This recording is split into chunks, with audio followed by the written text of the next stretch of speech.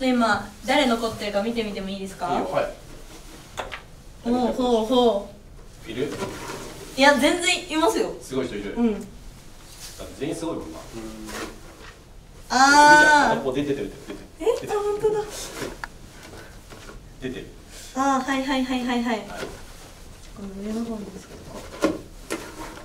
おおー。そうですね。はいこっちも見ます、はいどうですか？ああはいはいはいはい。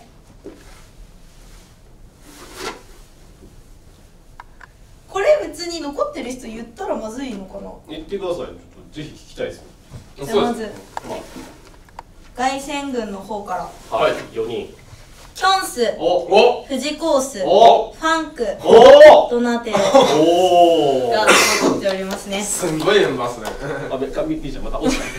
パンクが落ちた。パンク落ちたよ。はいすごいメンバーや。何？これ体調みーちゃん体調や。かったですねはい続きましてこちら、はい。ハイキング高瀬さん、はい。えージェイク、はい。えー隊長、はい。2名が残っておりますね。おはい。おはい。はい。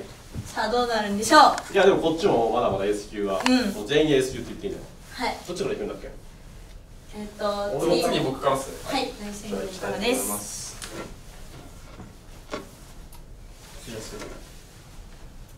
す来ました、うん、もう MC 正社員にとどめを刺す男、ねファンクさん。おお なんかこっちだって高瀬と高瀬と隊長と誰ですか？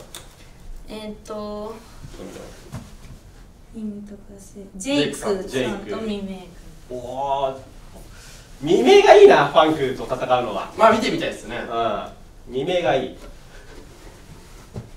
4分の 1?4 4分の1分の1もう残り4人しかいないです。じゃあこれでお願いします。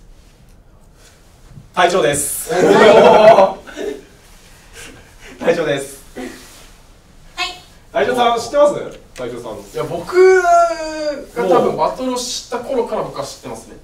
多分そ MC バのトル知った頃から。バトルに一番長く出てる人間で言ったらその2018年も出て、はい。出た人間でその昔一番最初出てた人間は何だって言ったら隊長さんなんじゃないですか隊長あうん。ダースさんとかいいかダースレーダーさんとかもいるけあどーだから2018はもうダンサーバトル出てないんじゃないですか？ダースさんの今度はエクスポットライト出るから。あだからたでも隊長さんももう本当にもう99年とか2000年ぐらいからいる人です。